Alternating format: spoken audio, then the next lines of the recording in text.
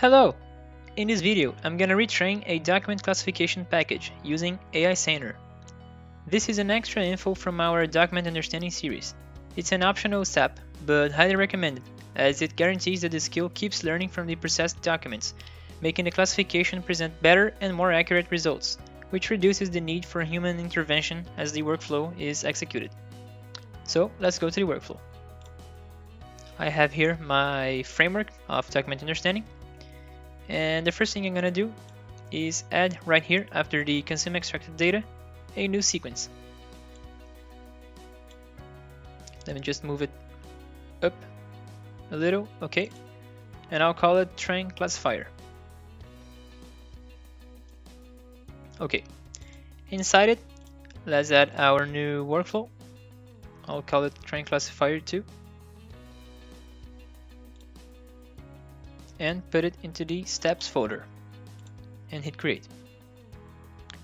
Okay, we will add the log message, the usual log message here,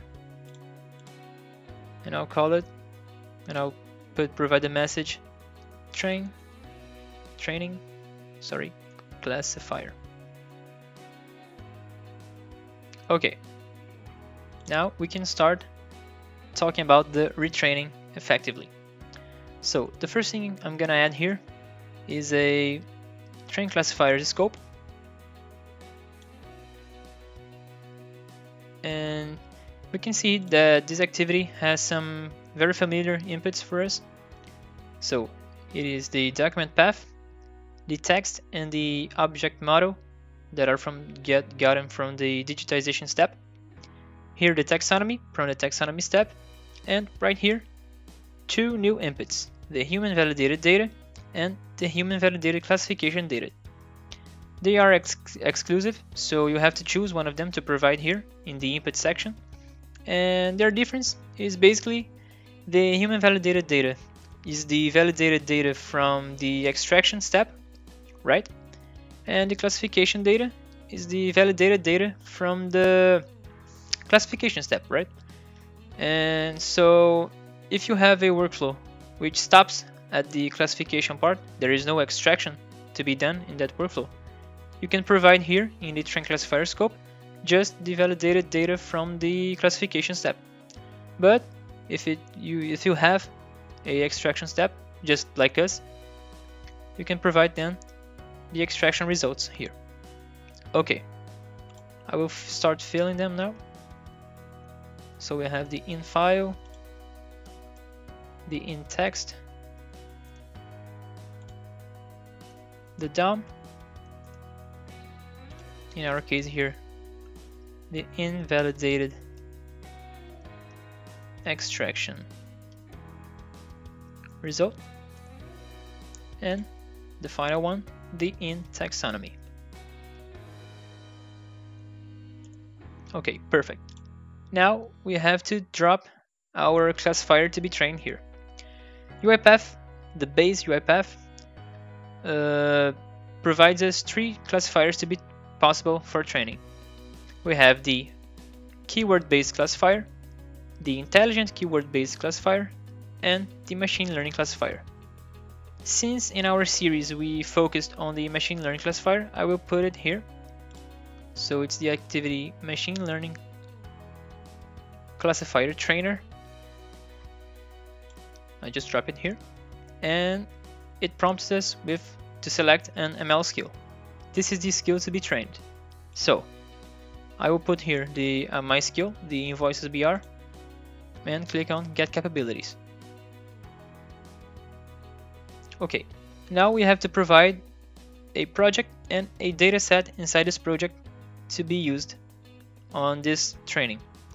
Because the idea of this activity is to upload all the documents that are being processed that passed through here to our to this dataset inside this project in our AI Center. So from there, we can proceed with the retraining of the package. Okay, so here I will provide my project. It is the document classifiers.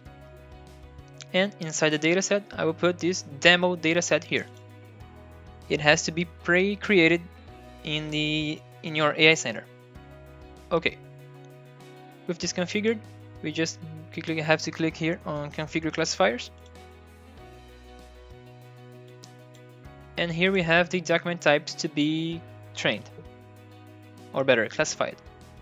So, my skill already has the training for SAG, Lite, and Chin documents. Since in our case we only have SAG, I will just provide it here, SAG. And if we had other document types, we could use any of these capabilities here. But for now, just SAG. And we can hit save. Perfect. Our activity is done. We can go back to the main and provide here the train classifier workflow. Let me just import our arguments here. So we have the paths counter, the text, DOM, the validated extraction results, and the taxonomy. Perfect. One last thing I'm gonna do is put another sequence here after the train classifier so we can close the workflow cycle here. I will just call it increase counter and inside it I will put a simple assign activity